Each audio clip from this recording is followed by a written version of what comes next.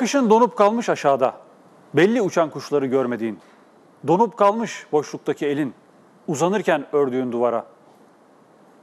Yürüyorlar kırlardan sokaklara. Sımsıkı kapılardan içeri. Dağlarda bekleyenler kar altında. ilk yazın amansız sürgünleri. Baş aşağı ediyorlar ne varsa. Çarşılar, sunaklar, pazar yerleri. Toprağın horlanmış onuruyla denize döküyorlar kenti. Bakıyorsun ördüğü ellerinin duvar değil, koskoca bir dünya. Hazır başka kentleri de yıkmaya, yeniden kurmak için yüreğin. İyi günler değerli izleyiciler. Kemal Özer'in Dülger şiiriyle açtık bugün programımızı. Ee, dün Mecidiyeköy'de bir inşaatta, rezidans inşaatı diyorlar bunların bunlara, e, çöken asansörle kaybettiğimiz 10 işçinin anısına, duvar duvar işçilerinin. Ben o işçileri 3 ay önce, 2 ay mı oldu? Soma e, katliamında görmüştüm. E, Soma katliamını e, protesto etmek için sayısını bile bilmediğimiz 300'ün 400'ün üzerinde e, işçimizi e, bu sermaye düzeninin kar hırsı, soygun, sömürü hırsı ile e, diri diri e, madenlere gömdüğümüz günlerde biz protesto etmek için Mecidiyeköy'de toplanan işçiler, emekçiler saatlerce bekletildiler. Tomalar, polisler e, önümüze barikat kurdular. Ve sonra o saatlerce beklemeden sonra e, onu kırıp Mecidiyeköy'e doğru yürüdük. Ali Sami Yensta'nın oraya geldiğimizde on binlerce işçi ve emekçi acımızla bağıra bağıra işte o inşaattaki işçiler bize el sallamışlardı. Sarı baretleriyle e, gönüllerinin bizimle olduğunu ama oradan inip gelemeyecek kadar bu sistemde köle gibi, esir gibi çalıştırıldıklarının da farkındalardı. Ve yine Soma gibi onları da e, kaybettik. Önlenebilir adına kaza denen cinayetlerle kaybettik. E, evet biz bugün edebiyat cephesindeyiz ve edebiyat ödüllerini konuşacağız. Aslında bu sistem birbiriyle bağlı. Yani şu anda Türkiye bir sermaye e, düzeni. Aslında buna düzen de demek e, doğru değil. Çünkü sermaye çetesi e, elinde.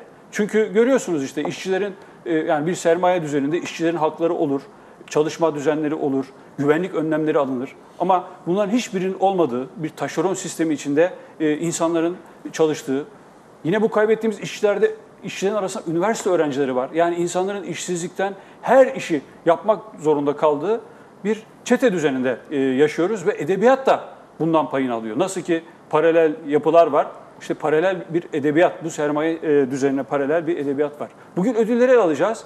Hangisini bu sistemde edebiyat e, e, işleyişi ödüllendiriyor? Bunları konuşacağız. E, ve e, bu konuyu işin e, aslında ustalarıyla konuşacağız. E, e, iki konuğum var. E, Taylan Kara genç bir yazarımız. Hoş geldiniz. Hoş bulduk. Taylan Kara'nın Basatlığa Giriş Dersleri kitabı aslında bu edebiyat sisteminde hangisinin e, öne çıkarıldığını, e, ödül verildiğini tartışan e, düşünceler içeriyor. Ve yine Taylan Kara'nın e, romanı var, Poe'nun Kuzgunu. E, ve yine Çölanj diye bir başka e, romanı var.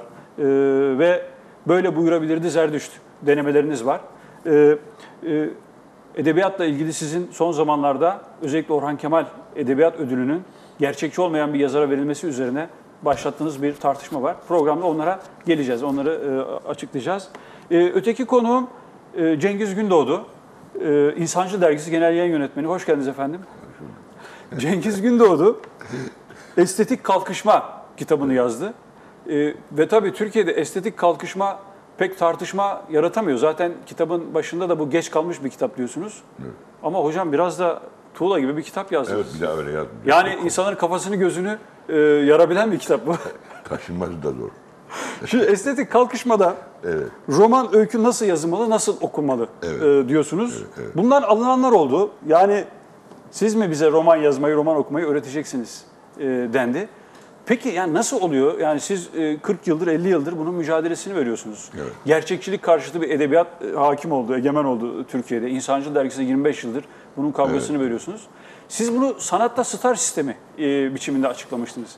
Yani neydi sanatta star sistemi? Yani daha önce 30 yıl önce e, bunu açıklamıştınız. Bu ödüller... Evet, evet. Çünkü tabii bu senin sorun 30-40 yılın bir mücadelesi. Ucu bucağı görünmeyen bir kavga. İnatla sürdürülen milimetrik bir kavga. Şimdi sanatta star e, dediğimiz zaman şöyle söylemem gerekiyor bunu. Şimdi 1971 faşist vuruşu vuruşu olunca şu gündeme geldi. Dendi ki bu gençler e, nereden öğrendi sosyalizmi ya da işte ulusal pe, milli, petrolün millileştirilmesi gibi sorunları. Bunlar 20-25 yaşlarında gençler nereden öğrendiler?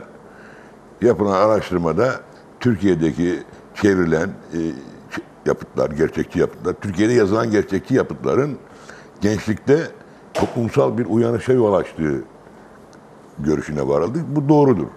Doğrudur. E, Bir, bir, peki biz ne yaparız? Nasıl bu şeyi, bu toplumsal uyanışı e, söndürebiliriz?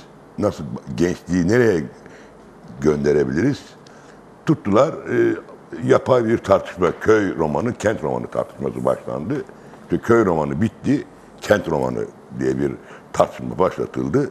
Ve kent romanı adı altında e, kentte yaşayan küçük burjuvanın e, sivilcesini patlattıktan sonraki çektiği esenlikli acıyı anlatan romanlar yazıldı, öyküler yazıldı.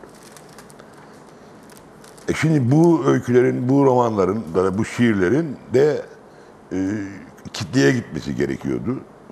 E, bir başyapıt öyküsü başlatıldı Türkiye'de.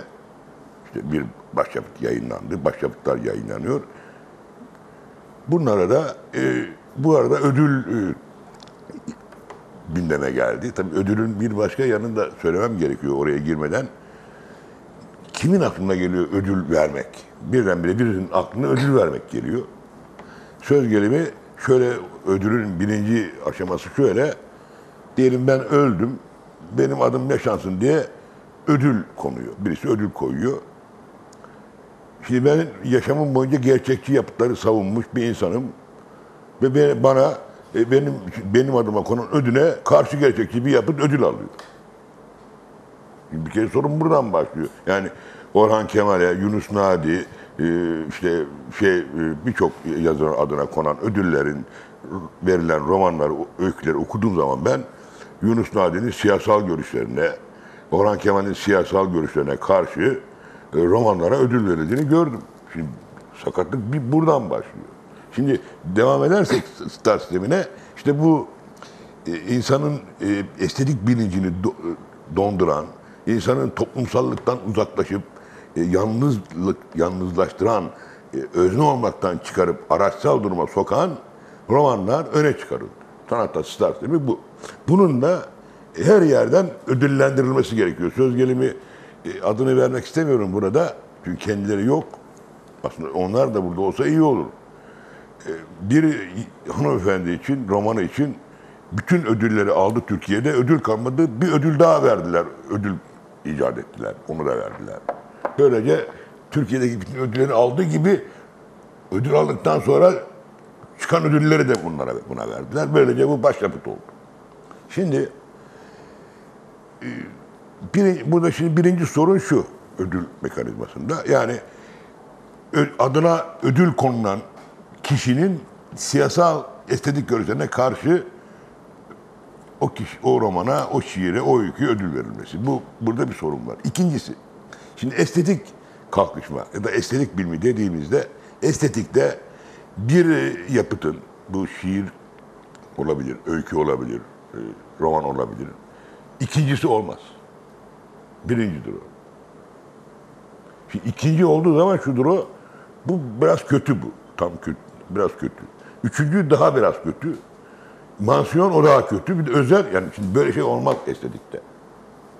Estetikte her roman, her öykü ya birincidir ya sıfırdır. Şimdi zaten e, bana da kimleri gönderiyor, ikincilik almış. E, ikincilik almak bir yazar, bir şair için düşkünlüktür. Yani Türkiye'de ödül veren ve ödül alanlar önce buna, buradan başlamalı işe. Bu estetik bilmine aykırıdır. Bu koyu bir bilgisizliktir. Bir yapıtın ikincisi olmaz. Oldu diyelim. Kabul ediyoruz. O zaman şöyle yapması, yapılması gerekir. Diyelim bir şiir önümüze 10 tane şiir kitabı geldi. 10 tane de gelmez de 1500, 2000 tane gelir e, şiirde. Şiir açarsan çok gelir. Roman biraz azalır, öykü de çok geliyor. Tabii onların nasıl okunduğu da sorun. Onu ben bilemiyorum. Mesela 1500 şiir kitabını bir ayda hangi jüri üyesi okudu? Bunları da onları konuşulur belki de ben şimdi geldi diyelim. Biz birinci seçtik birini. X'i seç, birinci seçtik. Bunun fiyatı 200 lira olmalı. İkinci 100 lira. Yani niye 200 lira? E bundan tam estetik haz alacaksın. İkinciden az alacaksın. 100 lira. Üçüncü 50 lira. Mansiyon 25 lira. Özeli artık 10 lira, 5 lira. Böyle yani. Sistemin böyle gitmesi gerekiyor. Şimdi neden böyle gitmesi gerekiyor? Çünkü Türkiye'de bunlar bunların okuru da var. Okur yazar birlikteliği var. Bak biz bunu kuramadık. Ben bunu kuramadım. Ama sistemin içindeki burjuva estetiğini savunan e, yaza, e, geri geri bir burjuva estetiği ama bir Balzac bir Tolstoy değil. Geri, gerileniş bir burjuva estetiğini savunan yazarlar, okurlar bir araya gelip bir ödül içinde kaynaşıp duruyorlar. Şimdi bu kaynaşma içinde e, bunlara şunu anımsatmak gerekiyor. Bu kaynaşmada siz sanat eserini tıpkı bir mağazada satılan ayakkabı, bir ceket, bir şapka durumuna düşürdünüz. Nasıl ki bir ceketin 1500-2000 lirası varsa kumaşına, dikişine göre 500 lira, 500 lira da var, 100 lira da var. Daha aşağı gidersen, sen söylemeyeyim 50 lira da var. Şimdi sanat eserini siz birinci, ikinci, üçüncü, dördüncü mansiyon özel ödül, şevket ödülü, e, bilmem ne ödülü diye koyarsanız bu sanatı e, çok küçük noktaya götürmektir. Ve bugün Türkiye'de çoktan beri sanat çok küçük noktalardadır. Ama bunlar çok mutlu insanlar. Ödül verenler, ödül alanlar, ödüle katılanlar, e, onların ben konuşmalarını okuyorum. Herkes ödül aldı mı, bilmem kimin ödülünü aldı mı, o ödülü aldığım için onur duyuyorum diyor. Katılmasa, katılmayanlar ne düşünüyor? Onlar da çıkıp konuşsun. Ödül alamayanlar. O da onur duyuyor mu katıldığı için? Şimdi hocam siz e, Taşkıran kitabına bir not yazmıştınız. Bu kitap hiçbir ödüle e, katılmadı ve aday gösterilemez diye bir not yazmıştınız. Buna karşı bir önlem almak için herhalde. Ya, şu, evet. Şunun için önlem aldım. Şimdi edebiyat dünyasında e, takma adla yazı yazıp, mesela takma adla, e, yabancı takma adla yazı yazıp bunu çevirmiş gibi gösterenler vardır. E, bunu da bir yazarımız bu sahte adı gerçek roman zannederek adı, romanına almış o yazarın adını. Sonra bunu sen dediler o adam yaşıyor mu? Böyle yani şöyledir. Türkiye'de yani çoktan beri, yıllardan beri ama şimdi değil bu. Hakikati arama, doğruyu arama kavgası yok. Yani, yani bizi dinleyip, bir kişi bizi dinleyip, ya belki de bu adamlar doğru söylüyor ya.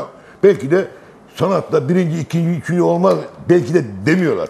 Ben yaptım oldu diyor. Evet. Şimdi buradan bakıldığı zaman sorunu çözemiyorsun. Ancak yazıyor. Konuşup duruyorsun. Yazıp duruyorsun. Şimdi sorun, sorun burada. Evet. Yani başta da söylediğiniz gibi küçük burjuvalar birbirlerinin sivilcesini patlatıp aralarında bir oyun oynuyorlar herhalde. Şimdi, şimdi şunu söyleyeceğim. Doğruyu arama. Yani bir yazarın birincil görevi doğru olanı aramaktır. Yanıldığı zaman da yanıldım demesini bilmektir. bilmektir. Ve yanılmak da çok güzel bir şeydir. Ben çok sevinirim yanıldığım zaman. Şimdi ben oraya onu niye koydum biliyor musun? Şunun için koydum. Ben bu edebiyat kamuoyunu biliyorum. Verirler bana da ödül verirler. Bakalım ne yapacak diye. Evet. Onu önlemek için koydum. Ee, şimdi... Ama gene de verirler. Çünkü onu okumadılar. Okuma, okuma. Yani benim ödüle karşı olduğumu kimileri bir ya da şöyle yaparlar bak sorun şurada. Benim ödüle karşı olduğumu iki kez yazımı okuyan anlar. Beni jüri üyelerine çağırırlar. Bu şunu gösteriyor Türkiye'de. Ya bakmayın öyle söyler söyler ama gider jüri üyesi olur derler. Ve yapanlar da var bunu. Türkiye bu ortamda. Bunu kırmalıyız biz. Ama daha derine inmeliyiz. Sorun sadece ödüller değil. Ödüllerin altına yatan daha derin, çok acı, insanı körletici doğrular var. Onlara geleceğiz. Şimdi Gelemeyiz, bitmez o. 24 saat Şimdi ödüller e, bir bütünleşik bir yapının içinde ortaya çıkıyor. Yani bir e, yayın evi sistemi, bir sermayeleşmiş bir e, medya, yayın evi sistemi ve işte star yazarlar, star eleştirmenler, star jüri üyeleri var. Aslında bizde son zamanlarda basına havuz medyası ismi takıldı. Yani işte malum kişilerin halkı manipüle etmek, yönlendirmek için bir araya gelip sermaye koyup ha- havuzlarda sermaye para toplayıp bunlarla e, gazete satın aldıkları, dergi satın aldıkları. Galiba ödüllerde de bir havuz e, ödül sistemi var. Ben Taylan şunu Kara. söyleyeyim geçmeden oraya. Kemal Ateş, Türkiye'nin gerçekçi yazarı, romancısı, öykücü Kemal Ateş. Yaptığı saptamada Yunus Nadi roman ödüllerinin hangi yayın evine gittiğini yazdı. Ben onu söylemiyorum burada çünkü elimde şu anda yok. Ama keşke onu bulup getirseydi, yazdı. Kimse de buna itiraz edemedi. Çünkü bu böyle. Evet. Yani yayın evleri ödül verdirip yazar yaratıyor onları da biliyoruz. Yani Kemal, Kemal Ateş, Yunus Nadi ödüllerinin hangi yayın evinin romanlarına gittiğini saptamış. Oturmuş, inatla saptamış. Bunu, bunu siz de saptayabilirsiniz. Şimdi biraz somutlayalım olayı. Somutlayalım, Ee, evet, evet. Taylan Kara bir Taylan'a e. Orhan son Orhan Kemal e, ödülünün e, Hamdi Koç'un e, Çıplak ve Yalnız kitabına verilmesi üzerine bir e, ciddi bir eleştiri e, fırtınası başlattınız. E, sizin bu vasatlığa giriş derslerini kitabında göstereyim ben. Yani Türkiye'de her alanda vasatlığı e, yükselten, ödüllendiren, tepemize çıkaran bir e, kültür ve edebiyat ortamı e, yaratıldı. E, nedir bu? Yani e, neler gördünüz siz bu Orhan Kemal vakasından yola çıkarsak e, ödüllerde neler var? Ben Cengiz Gündoğdu'nun söylediklerini pekiştirmek için olgulardan yola çıkayım. Ee, edebiyat ödülleri konusunda mevcut durum nedir e, ülkemizde? Önce onu ortaya koyayım. İzleyicilere bazı olgular sunacağım. Buradan gideceğim. Yalnız öncesinde iki şeyi vurgulamakta yarar görüyorum. Birincisi anlattıklarım e, az çok herkesin bildiği şeyler. E, malumun ilanı. Yeni hiçbir şey yok burada. Yıllardır söyleniyor. E, bilmeyenler de, duymamış olanlar da iki dakika içinde hemen internetten bunların hepsini bulabilirler. Ve izleyicilerden özel ricam lütfen bana inanmamalarıdır. Bütün hepsini kendileri kontrol edip kendi gözleriyle görmeleridir. İkincisi de Taylan ben araya gireyim yani herkes biliyorsa bunu niye sorunları çözemiyoruz? E, konuşuyoruz. Böyle konuşuyoruz. Israr etmekte yarar var. Çünkü e, söyleyip gitmekle olmuyor. Müdahale de etmek gerekiyor. Ee, belki değişir. 10. da 15. de 50. de değişir. Israr etmek gerekiyor. Tekrarlayalım o zaman. Evet. İkinci konu da burada hiç kimsenin kişiliğine ya da verdiği eserlere bir saygısızlık yapma amacında değilim. Çünkü isimler geçecek. Ee, onu vurgulayayım. Şu soruyla başlayalım. Edebiyat ödüllerini kim verir? Sizin sorduğunuz jüri üyeleri kimlerdir? Kimler seçer? Şimdi 2000 e, bu arada söyleyeceklerimin e, ekrana verirsek çıkış noktası Türkiye'de edebiyat ödülleri nasıl verilir isimli bir yazıydı. E, insanbu.com'da çıktı. Daha önce de Aydınlık Kitap'ta çıkmıştı.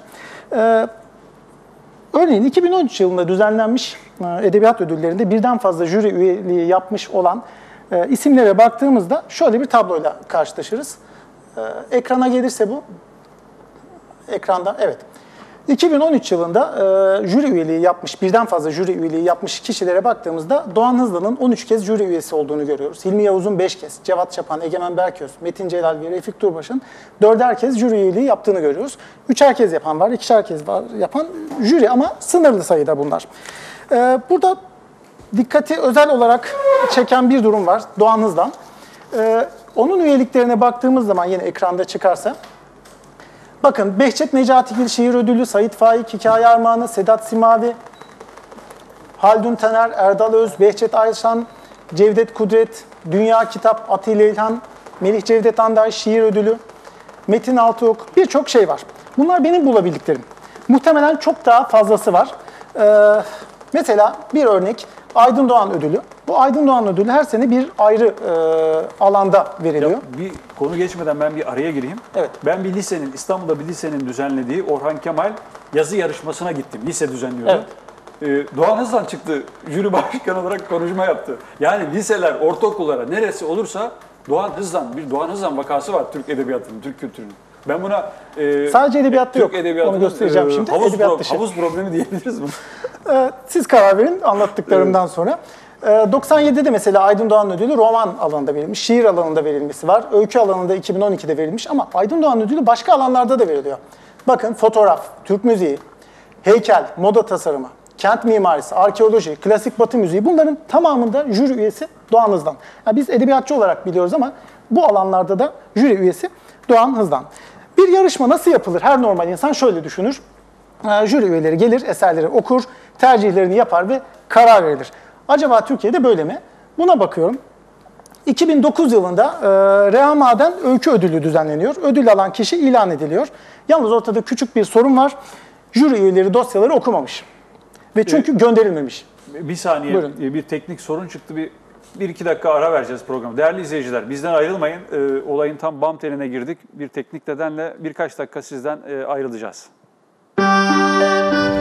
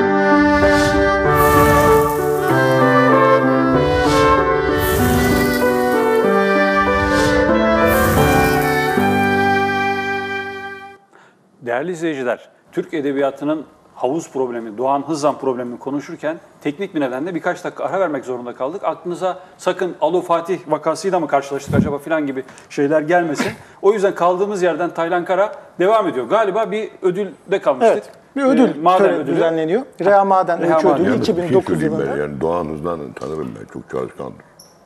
Belli zaten. Ee, Zaten bu onu kanıtlıyor hocam. Çok çalışkandır. Bir sorun var.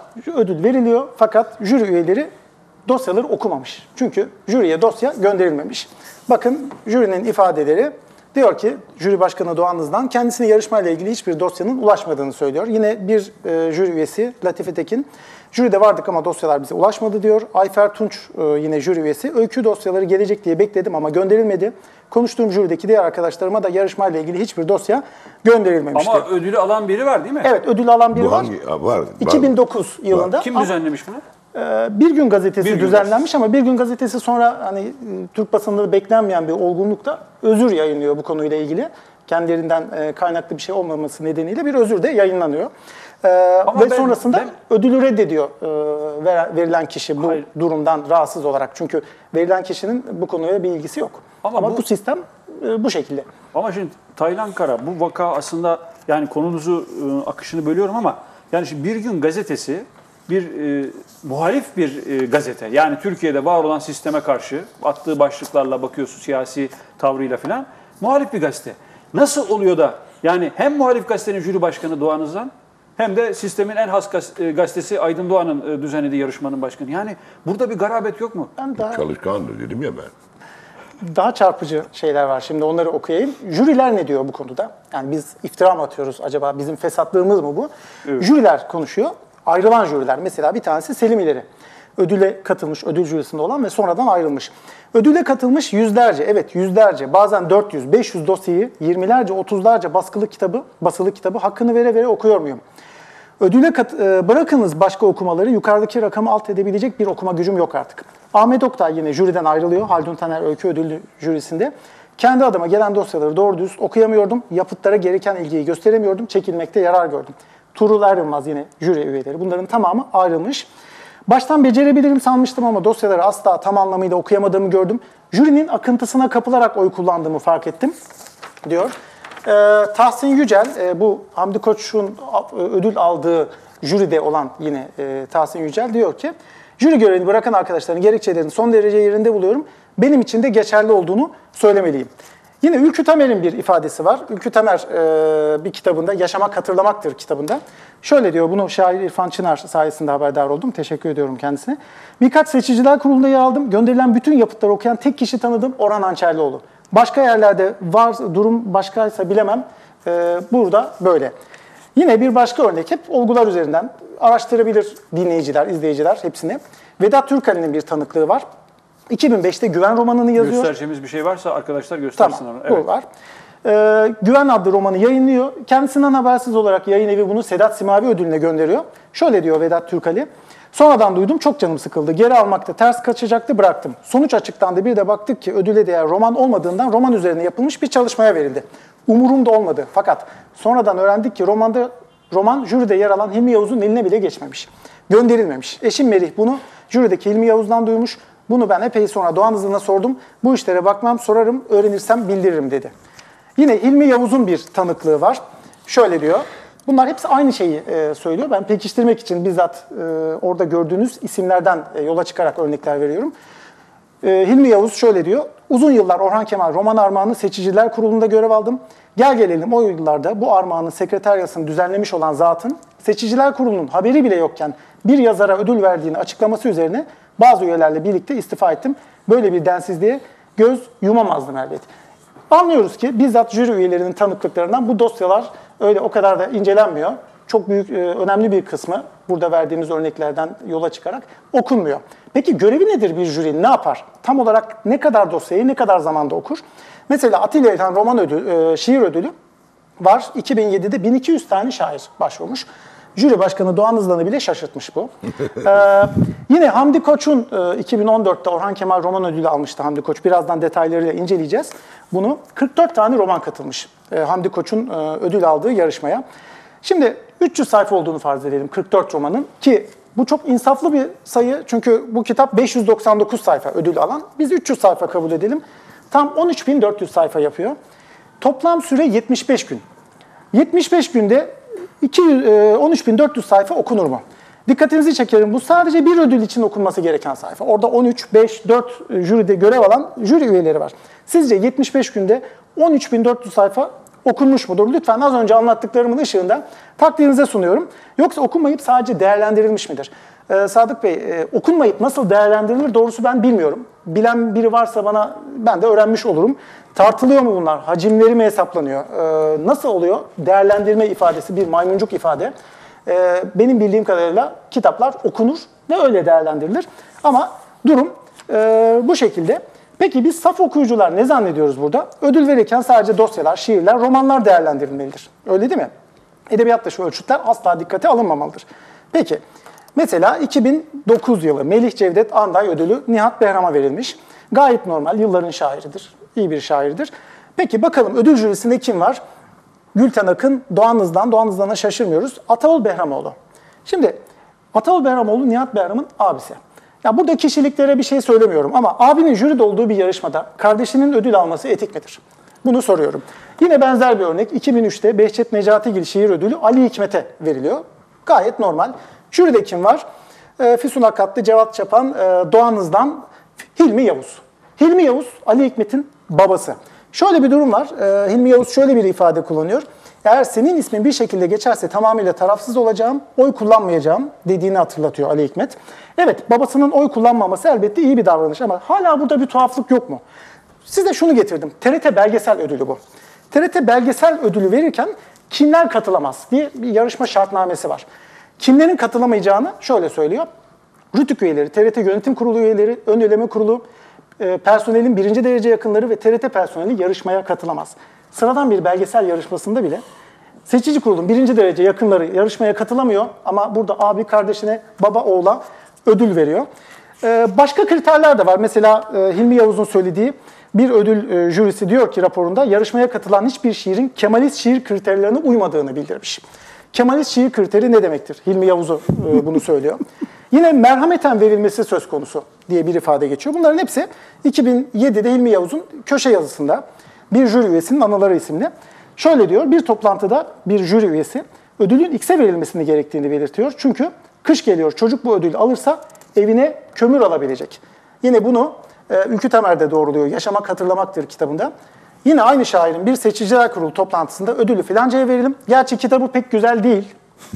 Ama kış geliyor evine kömür alsın diyor. Toparlıyorum söylediklerimi. Demek ki tek ölçüt kitap ya da e, dosyanın edebi niteliği değil. Başka ölçütlerin de olduğunu görüyoruz. Bunların bir kelimesini bile ben uydurmuyorum. Hepsini görüyorsunuz. Doğrulayabilirsiniz. E, isimlere saygısızlık yapma amacında olmadığımı tekrar vurguluyorum ama mevcut tablonun ne kadar kötü olduğunu görüyorsunuz. İki saat uzatılabilir ama izleyicilerin kafasında bir tablo, resim oluşmuştur. Özetlersem benim e, bu anlattıklarımın özeti şu. Bir, Türkiye'de edebiyat piyasası, edebiyat piyasası özellikle tırnak içinde 3-5 kişinin mutlak kontrolü altındadır. İki, jüri üyeleri az önce gördüğünüz gibi bir avuç insandan oluşmaktadır. Birçok jüri üyesi dosyaları okumadan karar vermektedir. Ödül vermede edebiyat dışı ölçütler hiç de nadir olmayarak kullanılmaktadır. Bazı ödüllerden jüri üyeleri bile haberdar değildir. Cengiz Gündoğdu'nun az önce anlattıklarını e, olgusal olarak e, bir pekiştirme e, amacım. E, konuşmam Evet. bu kadar şu anda. Evet, e, daha sonra şeye geleceğiz. Evet. Bu sene Orhan Kemal ödülünü de e, tartışacağız. E, yani aslında vahim bir gerçekle karşı karşıyayız yani. Alan memnun, veren memnun gibi bir şey. Yani herkes biliyor bir ortada bir sahtekarlık var, ortada bir düzen var ama herkes memnun. Bir de şu var, ben şunu fark ettim hocam. İşte bir yazarımızı kaybettik, öldü. Bakıyoruz kim yazar, Wiki, Wikipedia'ya giriyoruz diyelim internetten veya bir ansiklopediye bakıyoruz. İşte şurada doğdu, şunları okudu, bu kitapları yazdı, bir bölüm var. Şu ödülleri aldı. Diyorum ki ben yani acaba bu ödüller olmasa yazarlarımızın biyografileri de çok e, şey kalacak, fakir kalacak e, galiba. Yani e, ödüller nasıl bu kadar bir yazarın yaşamında belirleyici olmaya başlıyor? Şimdi önce tabii okun, okunmaması dendiği de e, doğru okunmuyor bunlar. Okunamazlar. Yani bu bunu şey olarak şu, şöyle sahtekarlıkla görmemek gerekiyor. Ben doğal olarak görüyorum bunları. 1500 kitabı nasıl okuyacaksın? Şimdi burada e, biraz önce söylendi ya, arkadaşımız bizim söyledi, yapı bozuk. Ya- Yani ödülün doğrusu olmaz. Bir kere baştan bilelim. Şimdi burada sorun şu. Şimdi yazar, yazar ya da şair açısından baksak bir şair bir de bir yazar neden 3-5 kişinin onayını almak için uğraşıp duruyor? Bur- Burada niçin o yazar, o şair kendine güvenemiyor? Niçin kendi disiplinine, kendi estetiğine, estetiğiyle niye elini masaya vuramıyor da 4-5 kişinin e, onayını istiyor ödül almak için? Bir kere şimdi baştan buradan başlamak gerekiyor. Yani siz Tolstoy'un ödül almak için roman yazdığını düşünün. Böyle bir şey, o adamın sorunu var. Şimdi şöyle düşünmek gerekiyor. Şimdi bizim yazarlarımızın sorunu da yok. Kaldı, kalktı sorun. O bir e, işte ben söyleşilerini okuyorum bu ödül alanların ya da kitabı çıkartanın. En, en son soru tezgahta ne var? Hani marangozda sonra tezgahta ne var? Orada pencere yapıyorum falan der. Hatta işte kapı kolu yapıyorum der falan ya. Şimdi orada söylüyor tezgahtakinin ne olduğunu. Bir yazarla da söyleşi yapmışlardı. Benim hiç beklemediğim bir e, derginin e, sosyalist olduğunu savlayan bir derginin, e, bir gazetenin kitap ekinde e, sosyalizme karşıt bir hanımefendiyle ya, söyleşi yaptılar. Orada onun tezgahta hiçbir şey yoktu uzun zamandır. Ama sordular tezgahta ne zaman bir şey olacak yakında tezgahta dedi. Şimdi bir tezgah sorunu var önümüzde. Şimdi ne yapmak? Şimdi yayın evi önüne gelen her yazarın yapıtını yayınlayamıyor. Ödül alanları yayınlıyor. Onlar da ödülün peşinde koşuyorlar. Ama ödül e, işte şöyle olacak ben size söylüyorum gelecekte belki 10 yıl sonra olacak. Ödül alan yapıtlar okunmayacak, çöpe atılacak. Bu ödül alınmıştır diyecekler. Şimdi buna dikkat etmek gerekiyor. Ok- Okunup okunmamaya gelince ödül ödüle ödüle gönderilen yapıtlar okunmuyor tabii. Okunamaz. Kızmayın onlara. Oku- okuyamazlar. Şimdi benim esas merak ettiğim şey bu gazetelerin çıkardığı kitap eklerindeki yazarların çok hızlı okumaları. Nasıl okuyorlar anlamıyorum. Son okudukları Vergülüs'ün Ölümü diye bir roman var. Şimdi bu roman bayağı zorlu bir roman. Şimdi ben bu kitabı okudum, notladım.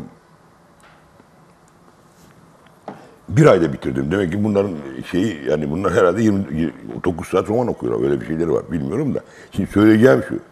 Ve bu romanla ilgili ne çıkmış ben bunu topladım. Top, rica ettim arkadaşıma gönderdi. Ahmet Kemal ne dediyse onu demişler. Ve başyapıt. Okumamışlar. Okumuyorlar. Başyapıt da değil. Ben de onu yazdım. Başyapıt falan değil. Hiçbir şey değil yani. Şimdi e, sorunu yani şöyle bir şey var. E, şimdi sen şey alıyorsun çok e, samimi bakıyorsun olaya. içtenlikle bakıyorsun. Yani böyle olmaması gerekir açısından bakıyorsun değil mi? Kendi vurguları öyle Olma, hocam. olma, Çünkü olma. diyor ki E, olma- bir olma- ödül var. ol- olmaması biz gerekir. jüriyiz. Olmaması gerekir. Yani bu şuna benziyor. Yani kapitalist artı değeri sömürmesin. Bu Hocam olamaz. onların iddiasının tutarlılığını arıyorum ben. Ha işte Aradığım bu. Hayır, o- Ama o- tabii her şey tutarsızlık hayır, üzerine. hayır. Ama şimdi az önce İlmi Yavuz'dan örnek verdi. İşte kitaplar okunmuyor diye istifa ettim diyor ama kendi oğluna Tabii e, ödül kapitalist, veriyor. kapitalist de bir yaştan sonra emekli olur ya işleri sömürüyorlar falan der. Hatta Brecht'in bir episodu vardır. Oyun oyun haline çevirememiş. Ee, kapitalist çok üzülüyor. Niye bu işçiler yoksul diye bir araştırıyor. Kendi yoksulluğun nedeni kendisi. Şimdi bütün bu öz eleştiri yapanları e, e, Hristiyan cemaatinde papaza gidip günah çıkartır gibi konuşanlar işledikleri günahların hesabını versinler bize. Hangi yapıtları ne duruma getirdiler? Kimlerin bilincini e, dumura getirdiler? Ben 1985-86 yıllarında Star sistemine karşı mücadeleyi başlattım da birçok ile gittim, söyleşiler yaptım. En çok aldığım yanıt neydi biliyor musunuz? Bu yapıt beş para etmez dediğim zaman oradan kalkıp şöyle diyorlardı. Oh be kurtulduk. Biz de başyapıt diye bunu sesimizi çıkarmıyorduk diyorlardı. Böyle okurun bilincini bir kıskaç içine aldılar. Başyapıt, başyapıt, başyapıt diye diye. Hocam bir edebiyat yarattılar aslında. E, aynı sizin aynı yıllarda Yalçın Küçük de küfür romanlarını yazıyordu. Cumhuriyete karşı küfür romanları. Yani bu ödüllerle e, ve işte bu e, övgülerle bir yazarlar kuşağı yetiştiler. 1980 darbesinden sonra siz 12 Mart'ta başlattınız. Evet. 1980 herhalde 12 Eylül'de buna O kazıdı. tüy dikti. O, evet, kaz- o kazıdı. kazı. Öbürü tam kazıyamadı. 12 Eylül kazıdı 50 50 insanı öldü. Besleyelim, besleyelim mi? Ama bu halk da bağırıyordu besleme, besleme, besleme diye. Tamam mı? Yuh yuh diye bağırıyorlardı. Bu halka yuh çektirenler güvenmesinler kendilerine. Bu halk o adam asmayalım mı? Da besleyelim as as as diye bağırıyorlardı. Bütün onun adları verildi okullara, liselere, işte resimleri satılıyordu. Beş para etmez resimleri 100 milyona, 200 milyona. Nerede o resimler şimdi? Nerede onu alanlar? Bu halkın bilinci dumura uğratılmıştır. Onu söyleyeyim size. Okuruyla, yazarıyla. Onun için önümüzde bizim çok büyük bir dağ var. Onu ancak milimetrik mücadeleyle yorulmadan inatla aşabiliriz. Bu e, çalışmalar elbette ki çok güzel ama bu yaygınlaştırılmalı. Peki e, bu senenin Orhan Kemal ödülüne gelirsek süremiz de azalıyor. Tamam. E, onu bir özetleyelim. Yani siz e, bir skandal dediniz. Gerçekten de skandal Orhan Kemal. İşte ben getirdim bereketli topraklar üzerinde. Yani Türkiye köylüsünün nasıl işçileştiğini, nasıl trajik bir biçimde sömürüldüğünü anlatan bir yazar. E, işte bir Hamdi Koç'a veriliyor ödül. Evet. E, burada ise e, postmodern bir anlatı bu. Yani bir derdi de yok yani. Bir şeyi de yok. Yani Keşke sadece öyle olsaydı. Ee, evet. Ee, çok daha kötüsü e, var. Evet. Zaten bunların da çıkış noktası buydu. Ben bu kitabı okuduğum zaman, e, ödül aldıktan sonra okuduğumda e, herhalde yanlış, ben çok anlamadım. E, bir şey vardır diye bir daha okudum. E, çünkü güvenemedim. Herhalde bu jüri durduk yere vermez bu e, ödülü diye düşünerek son derece safça bir şekilde. E, esasen şu var, Seçiciler Kurulu'nun e, veriş gerekçesi çok ilginç. Onu okumak isterim. Şöyle diyor, tarımsal üretim atmosferindeki insan gerçekliğinin dönüştürülebileceğini, daha iyi bir dünya için yaşanan acılardan kurtulmanın mümkün olduğunu, Orhan Kemal'in dünya görüşüne yakın bir anlatımla bir dizi bilinmezle irdeleyen ve tarihe yaptığı göndermelerle evrensel vicdanı da hatırlatan yaklaşımıyla Hamdi Koç'un çıplak ve yalnız romanına verildi.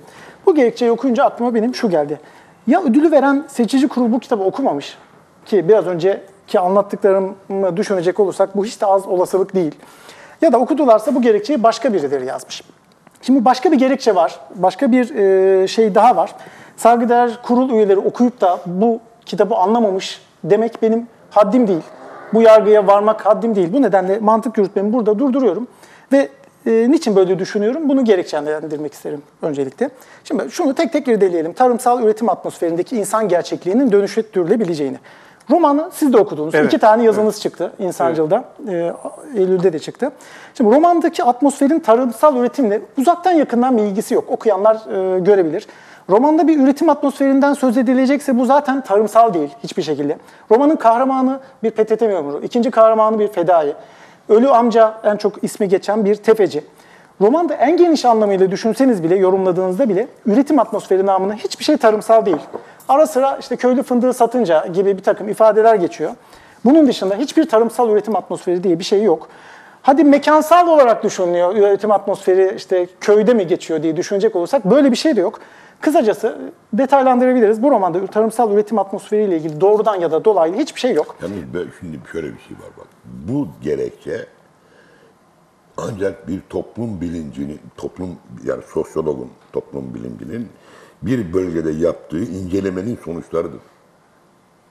Bu roman, bu e, konu, bu tema bir romana ödül verdirmez. Böyle, böyle bu saçma sapan bir şey. Hocam Veremez. bu bir yalan. Veremez. Doğru da olsa veremezsin. Diyeceksin ki sen, bu romandaki çatışmaların maddi gerçekliği var. Bu romanda nesnelerin birliği çok sağlam kurulmuş. Bu romanın nedensel ilişkileri çok sağlam. Kurgusu, omurgası çok güzel. Sen bir romana konusu için ödül veremezsin. Hocam Ama böyle bir şey çıktı Türkiye'de. Dur.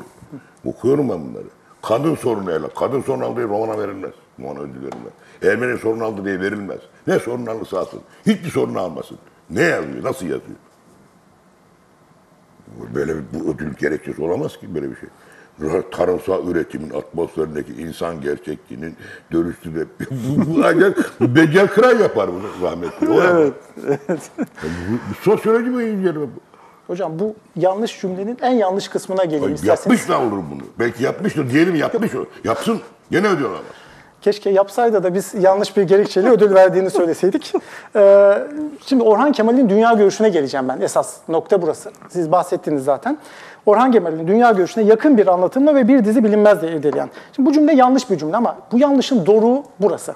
Şimdi şu masaya biz, bu masa değil, bu biz zürafadır deseydiniz nesnel gerçekliği bu kadar inkar etmiş olamazdınız. Bu kitapta Orhan Kemal'in dünya görüşü var ise e, biz yıllarca Orhan Kemal diye yanlış kitaplar okumuşuz. Bakın o kitabı Orhan Kemal yazdıysa bu ifade bir palavradır. Hatta palavra sözcüğü bile az gelir, başka bir sözcük icat etmek gerekir bu gerekçe için. Neresinden dokunursanız dokunun elinizde kalacak bir cümle. Orhan Kemal'in dünya görüşüyle uzaktan yakından, köşesinden kenarından hiçbir ilgisi yok bunun. Peki yazar ne diyor? Acaba bu kitapla ilgili değil de yazarın genel dünya görüşüne, yazarın genel edebiyat e, anlayışına mı bu ödül veriliyor? E, şöyle diyor yazar, 2000'li yılların başında bir röportaj yapmışlar. E, diyor ki, toplumcu gerçekçilik dedikleri bir şey vardı. Ve o yıllarda yaşamasına izin verilen tek gerçeklikti, gerçekçilikti. Ne işler ya, nelerle uğraştık. Lukaş diye bir Macar köylüsünü getirip burnumuzun dibine dayadılar estet diye. Şimdi burada kibir var, Lukaş'ın aşağılaması var, başka sorunlar var. Hepsini bir kenara bırakalım. Evet yazar toplumcu gerçekçiliği eleştirebilir. Lukaş'ı değersiz bulabilir. Buradaki sorun bu yazarın gidip bir süre sonra her fırsatta aşağıladığı toplumcu gerçekçiliğin abidesi olan Orhan Kemal adına o ödülü alabilmesidir. Örneğin Cengiz Gündoğdu Taşkıran'da Ah- Ahmet Altan'ı eleştiren bir yazı yazmış. Üç gün sonra gidip Ahmet Altan'ın roman ödülünü alsa ne kadar inandırıcı olabilir? Ya da bu kadar söz söyledikten sonra gidip bir ödül alsa ne kadar gerçekçi olabilir? Şunu diyebilirim. Bir yazar daha ne diyebilir? Bir yazar yazdıkları ve söyledikleri daha ne olabilir toplumcu gerçekçiliğin karşıtı olması için? Orhan Kemal ile bir ilişkisi var Sadık Bey. O da şu. Orhan Kemal ile Hamdi Koç'un bir ilişkisi var ise bunlar birbirlerinin karşıtı oluşturusıdır. Karşıtlarıdır bunlar. Sanat anlayışları bakımından Hamdi Koç neyse Orhan Kemal o değildir. Orhan Kemal neyse Hamdi Koç o değildir. Orhan Kemal roman ödülü kısaca şöyle bağlayayım. Bu kitabı okunmadan verildiyse bu korkunç bir olaydır. Ama daha korkuncu var. Bu kitaba okunarak verildiyse bu çok daha korkunç bir olaydır. Ödül gerekçesi ise e, akılla ve insanlığın sanat birikimiyle alay etmektir. Bu eleştirileri çok sert bulabilirsiniz. Siz okudunuz ama bul, bulmayacağınızı umuyorum. Ancak kitabı okursanız e, izleyiciler de ne söylediğimi anlayabilir. Ş- Şöyle son cümlem şu olsun. Bu kitaba Orhan Kemal roman ödülü verildiyse Orhan Kemal roman ödülü verilmeyecek hiçbir roman olamaz. Her roman alabilir buna. Şimdi ben bir şey söyleyeceğim. Ee, sen dedin ki jüri üyeleriyle ile dediğin haddini bilmezlik yapmak istemiyorum, anlamamışlar diyemiyorum dedim. Anlamamışlar, anlamazlar. Bakın ben anlatacağım size. Ben yaşadım bunu. Önceki yıllarda e, şeyin, Kemal Ateş Türkiye'nin gerçekçi bir yazarıdır. Kemal Ateş'in e, üniversiteden ayrılışı nedeniyle Kemal Ateş'le ilgili bir toplantı yapıldı Ankara'da. Beni de çağırdılar, gittim. Şimdi her çıkan Kemal Ateş benim dostumdur, çok severim. Gece Kondu'yu çok iyi yazmıştı. Gece Kondu yazarı oldu. Hep böyle. Gecekondu yazarı, evet. Benim tepem attı. Nasıl böyle sinirden her tarafım fokur fokur kaynıyor. Sıra bana geldi açık oturum gibi. Üç kişi. Dedim ki önce baştan dedim Kemal Ateş benim dostum falan değil. Yaptım. İkincisi Kemal Ateş gece kondu yazarı değil. Neden çıkardınız? Anlamamışlar Kemal Ateş. Adam insanı yazıyor. Gece konudakini yazıyor. Bakkaldakini yazıyor. Kenttekini yazıyor. Üniversitedekini yazıyor. Gece kondu roman olur mu? Roman olur o gece konuyu anlatır. Şimdi bak ben bunları söyledim, söyledim, söyledim, söyledim. Yanımdaki adam gece kondu yazar diye başladı. Hastalık bizde ya. Anlamıyorlar. Birisi, birisi gece kondu yazar diyor. Hepsi onu çekiyor. Ortaya atınca.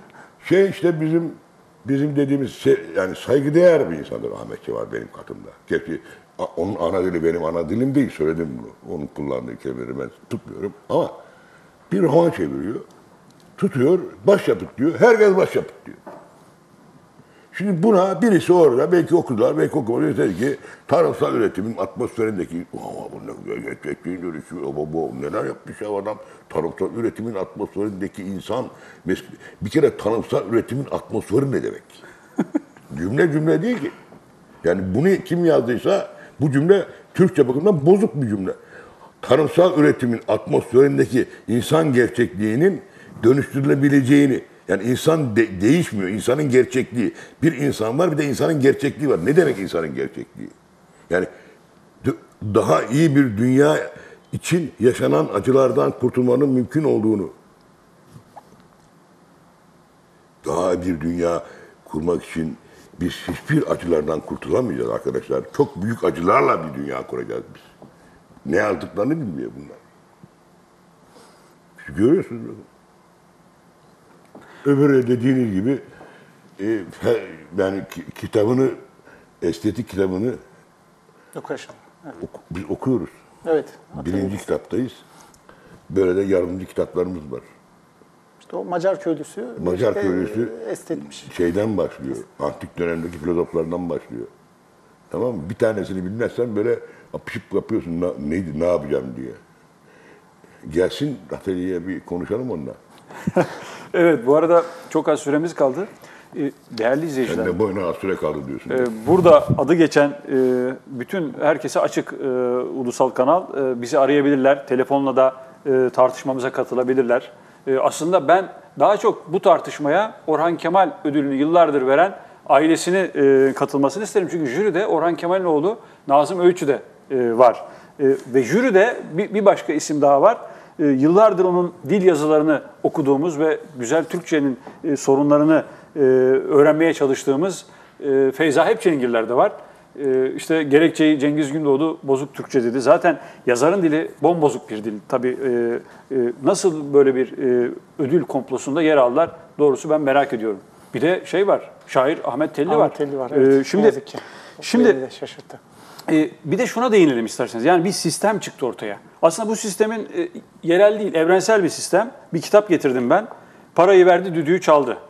Francis Stoner e, Saunders e, bu kitabında, bu parayı verdi, düdüğü çaldığı kitabında CIA'in 1950'den sonra sosyalizme karşı sanat ve edebiyat cephesinde açtığı Haçlı Seferi'ni e, inceliyor. Yani CIA kültürel toplantılar düzenliyor, dergiler yayımlıyor. Tutuyor bu dergilerde solcu görünen Avrupalı yazarlara makaleler yazdırıyor. E, bunu anlatıyor, bunun arka planını anlatıyor. Aslında bu Türkiye'ye demek ki geç gelmiş. Yani 70'ten sonra gelmiş, 80'den sonra işte küfür romanlarında da ortaya konduğu gibi. Bir de Yalçın Hoca'nın Şebeke diye kitabı var. Onu da e, önerelim. Şebekede bu işin nasıl işleyişini, yani orada pamuk pres, pres diyor. E, bu yazarlar nasıl ünlendirildi ve bize büyük yazar olarak yutturuldu onu e, inceliyor. E, şimdi bir de e, Türkiye'ye örtülü ödenek, edebiyatta örtülü ödenek e, gerçeği girdi. Yani Kültür Bakanlığı bazı yazarlara e, kitap yazacağım diye proje sunan, projeci, tezgahı kuran yazarlara para veriyor. Buna ne diyeceksiniz? ben bilmiyorum yani bir yerden okudum ama yazar başvuruyor kitap yazacağım diye. Başvuruyor fakat şöyle e, hocam, bir, yazar gizli başvuruyor, ona bir şifre veriyorlar. İki, Niye? değerlendirme kurulunun kim olduğu bilinmiyor, gizli açıklanmıyor. Bakanlık açıklamıyor. E, yani örtülü, tam bir örtülü ödenek. Biliyorsunuz örtülü ödenek e, devletlerin pis işlerinde, yani provokasyonlarında, istihbaratlarında, casusluk e, faaliyetlerinde kullanılır. Ki bu AKP devrinde örtülü ödenek e, onlarca kat attı, arttı örtülü ödenek harcamaları. Yani Başbakan Bülent Ecevit zamanında işte diyelim ki 5 milyon 10 milyon olan örtülü ödenek Başbakan Tayyip Erdoğan zamanında 1 milyar dolara falan çıktı. Şimdi bu örtülü ödeneğe benzer bir ödeneği edebiyatta kuruyor. Yani edebiyat pis bir şey- iş mi? Yani yazarlık bu kadar mı e, ayağa düştü? Ne diyorsunuz Taylan? Kim başvurmuş bunlara? Ee, hocam şöyle, Kültür Bakanlığı bir başvuru açıyor. 290 tane Benim yazar ya. Başvurmuş ve bunların 40 tanesine ödül ver- e, teşvik veriliyor. Toplam teşvik 463 bin TL. Bunlar şey mi yapıyorlar? Bu- Buraya bir ben şöyle bir yapıt Evet, yazacağım. şöyle bir yapıt Roman yazmayı düşünüyorum diye bir şartname var Şiir orada. yazacağım, şöyle bir şiir Ee, yazacağım. Şöyle bir kitap çıkaracağım diye. Bunlar da 463 bin TL ödül, e, ödül e, teşvik veriliyor. yapıyor? Sonrasında kontrol ediyor bir kurul. Bu kurulun kim olduğu belli değil. Ee, ama bir takım isimler var. ediyor? İşte bu yapmış mı gerçekten, buna uymuş mu, uymamış mı, e, bizim koşullarımıza uygun mu, Bir değil mi diye. yakışmaz mı canım? Bu yazar buna yazar. 40 gerekçeye tanesi gelmez. başvurmuş hocam. Gelmez. Ha, ama hocam bir de Bunlar yazar değil. Hayır, yazar. üç ay sonra ne kadar Hayır, yazdınız hayır, diye istiyor. Hayır, hayır, hayır. Eskiden şimdi Türk dili ben dilin özdeşmesinden yanayım ama eskiden muharrir vardı, edip vardı. E, onlar muharrir, edip değil. Yazar değil onlar. Yazar sadece yazma işi değildir. Bir kişilik sorunudur yazarlık. Şey olur mu ya? yeni başvurular açılmış bu Ben yazarlık arada. seminerine öyle başlarım arkadaşlar. Başlarım. Sadece yazma değildir. Neyi yazacaksın? Böyle şey gizliliğe ba- ba- başvurulmaz öyle şey. Olmaz.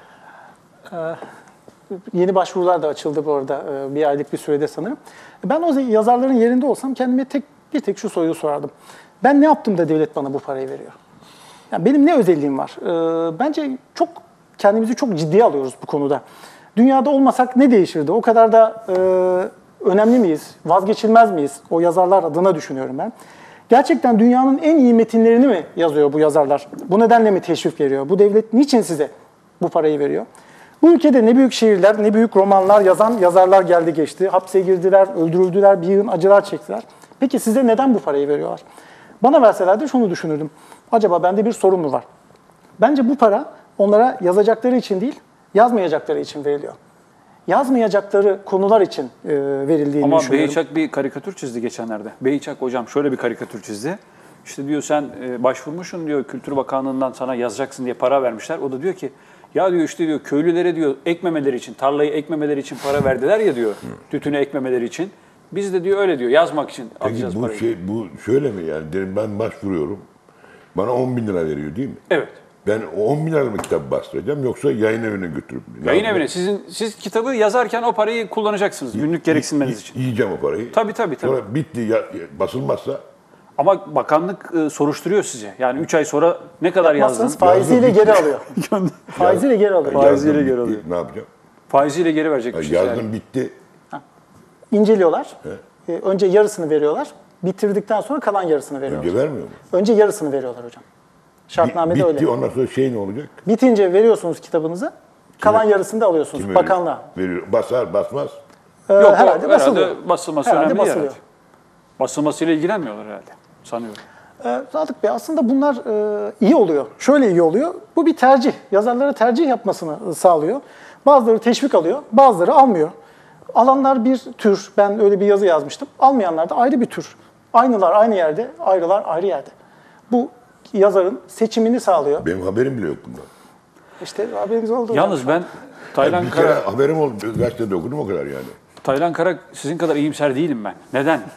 Aynılar ayrı ayrı ayrı yerde ama bu okur denen kitle farkında değil ki onu ayrıştıramıyoruz. Asıl sorunumuz o. Yani asıl sorun yani emeğiyle yaşayan, acı çeken, trajik bir hayatı olan, toplumsal e, olarak ezilen insanlar gidiyorlar bu postmodern kitabı yani onun acılarıyla alay eden adamın kitabını alıyorlar. Cengiz Gün'ün estetik kalkışmasını almıyorlar ki. Sadık Roman Bey- nasıl yazılır? Roman nasıl okunur? Bunun bedeli şu ama. 200 Öğrenseler- sene sonra, şey var şimdi 200 şu- sene sonra Genç insanlar iyimserdir. Önlerinde uzun bir gelecek var. Bir 70 yıl var mesela. Ama 70'inde gibi adam öyle yani ge- gelenlere de baktığı için şimdi söz gelimi bu beyefendi ne demiş Lukas için? Macar, köylüsü. köylüsü. Macar köylüsü. 20. yüzyılın en büyük filozoflarından biri yani değil mi Lukas? 20. yüzyılın daha büyük bir filozofu var mı acaba Lukas ölçüsünde? Emekten yana, işçi sınıfından yana, Bak şöyle aydınlıktan yana. Aristoteles, Aristoteles'in çizgisi, bir çizgisi vardır. Aristoteles metafizik kitabının başlamadan önce alan temizliği yapar. Kendinden önceki bütün görüşleri eleştirir. Ve çok bilimsel bir yöntemi vardır. Marx aynıdır. Marx bir anlamda çağdaş Aristoteles'tir. Oradan gel Lukas aynıdır. Bunların üçü aynı çizginin insanıdır. Yazma biçimleri, zor anlaşılırlıklar hep hepsi de bunların çetin taştır. Dişini kırar adamın. Onun için bu arkadaşın, bu kişinin köylü demesi doğru. Nasıl içecek onu? İtecek onu. Ee, söz gelimi bir e, başyazarda sık sık yazar. Ben Kapital'i ancak 15 sayfa okuyabildim. Okunmuyor der. Atar onu, atar. Yani bu bir, e, bir şey atma. Uzaklaştırma. Sen köylüsün. Sen anlaşılmıyorsun biçiminde. Evet, Anlatabildim mi? Bu teşvikin bedeli de şudur. 100 sene, 200 sene sonra bu insanlar devletten para aldı diye isimleri anılacak. Bu da bence yeterli bir bedeldir bunun için. Elbette dediğiniz doğru. Bunu olumlamak anlamında söylemiyorum ama bu önemli bir bedeldir. İnsanın isminin temiz kalması önemli bir bedeldir. Ama burada biraz da e, yani tamam yazarlar yazarlık kişiliğini edinmeliler ve onu taşımalar ama biraz da okura biz yani aslında bizi izleyen e, okurlarımıza da biraz e, eleştiride bulunalım. Yani bu okurlar neden bunu baş tacı ediyorlar? Acaba şöyle mi diyelim yani bileşik kaplar gibi yani politikada başımızdakiler kimse, edebiyatta da başımızdakiler işte Doğan Hızlan e, benzeri yazarlar oluyor. Yani bu okur nasıl, e, çünkü okurla yazar el birliği yapmazsa niye bu yazarlarımız bu ödüllere muhtaç hale geliyor? Yani ben bu ödülü alırsam adım gazetelerde geçer. İnsanlar beni alır okurlar diye gidiyorlar. Şimdi siz e, dediniz ki 1200 e, şair katılmış bir yarışmaya. Türkiye'de şiir kitapları 300-500 satılmıyor. Yayın evine götürdüğünüz zaman biz şiir basmıyoruz diye geri çeviriyorlar. Yani böyle bir ülkede, böyle bir garip ülkede okurun da sorumluluğu yok mu? Beyefendi o dediğini, dediğine girersek sorun çok derinleşir. Ee, çok, çok ayrıntılı girmek gerekir orada. Ben e, şu kadar söyleyebilirim sana e, okur sorumluluğu konusunda. Katip Çelebi 17. yüzyılın çok aydın bir insanıdır Katip Çelebi. Çok Osmanlı'da yetişmiş e, bir az insandan biridir. Descartes gibi bir filozof olamayışın nedeni kendisinden kaynaklanmaz, toplumdan kaynaklanır. Felsefede iyice itilmiştir Osmanlı'da. Şöyle söylüyor kendisi. Ee, bunu kitabında söylüyor. Ben onu aldım yeni kitaba. Şimdi oraya geleceğiz şimdi bak. Nasıl geleceğiz? Şimdi Kur'an'da gökyüzüne bakın diye bir buyruk var. Tanrı buyruğu var. Siz buna karşın inek gibi baktınız diyor. Tabir aynen öyle. Gökyüzüne inek gibi diyor. Tamam. Gerçi inek benim gözümde çok değerli bir emekçidir. O ayrı da. e, işte o bakma halen devam ediyor Türkiye'de. Evet. Ee, arkadaşlarım süremizin dolduğunu işaret mu? ediyorlar. Peki. Çok teşekkür ederim programa katıldınız. Özellikle Mersin'den geldiniz bu program için. Bir cümle alayım sizin de son sözünüzü. Ee, Mesele şu, bağlayalım. hepsini özetleyecek olursak niye bu kadar tantana yapıyoruz, niye bu kadar gürültü yapıyoruz? Ee, Türk edebiyatının ya da başka bir edebiyatın 3-5 kişinin edebi beğenisiyle şekillenmesi doğru değildir. Diyelim ki dünyanın en yetenekli insanı bile olsa bu, en yetenekli şairini getirip bunun edebiyatın tepesine koysak bir şey değişmez. Yani diyelim ki bundan sonra ödüllerin hepsini Balzac verdi. Bütün kitap tanıtımlarını o yapıyor ya da İngiliz edebiyatını tamamen Shakespeare yönlendiriyor. Herkes Shakespeare gibi yazıyor. Edebiyat zenginleşir mi? Fakirleşir mi? Tabii ki fakirleşir. Hiç kimsenin bunu yapmaya hakkı yok. İsimleri unutun. Ahmet'in, Mehmet'in hiçbir önemi yok. Buradaki sorun Türk toplumunun estetik beğenisini 3-5 kişi tarafından, 3-5 kişinin sanat anlayışı tarafından şekillendirilmesidir. Aslında estetik bilinci bu tür romanlarla şekillendirilmiş bir toplum Soma ile Mecidiyeköy'de bugün olan şeyleri iki ayrı olaymış gibi algılar. Orhan Kemal'le ya da doğru bir şekilde bilinçlendirilen estetik bilinç ise bunlar arasında bir süreklilik görür. İnsanın nesnelerle, olgularla kurduğu, kuracağı ilişkiler hakkındadır aslında bütün bu savaş, bütün bu görüş ayrılığı. Teşekkür evet, ederim. Çok teşekkür ederim. Evet değerli izleyiciler, gene topu size atıyoruz, sorumluluğu size yüklüyoruz. Ödüllere, üne, şöhrete, gazetelerde empoze edilenlere bakmayın. Kendi aklınızı kullanma cesaretini göstererek, kendi beğeninizle e, ama tabii ki Lukas gibi üstadlarımızı, Cengiz Gündoğdu gibi hocalarımızı, Taylan Kara gibi eleştirmenlerimizi okuyarak yolunuzu bulacağınıza inanıyorum. Hepinize iyi günler diliyorum. Thank you.